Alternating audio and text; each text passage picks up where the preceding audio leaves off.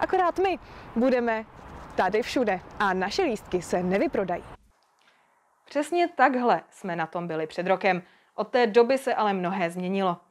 Většina z nás vypadá jako banditi a nezmění na tom nic, ať se oblékneme sebe suveréněji. Jelikož nám aktuální situace leze už tak trošku na mozek, rozhodli jsme se oloupit humbuk. Ano, slyšíte správně. Chceme si ukrást trochu té slávy a místa v kyberprostoru. Přesně proto jsme pro vás připravili Fake Ambassador News Live, živé vysílání, které poběží souběžně s vysíláním Humbug Fest 2020.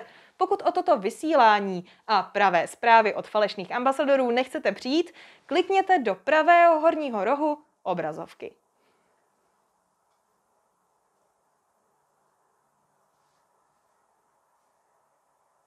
Už jste klikli?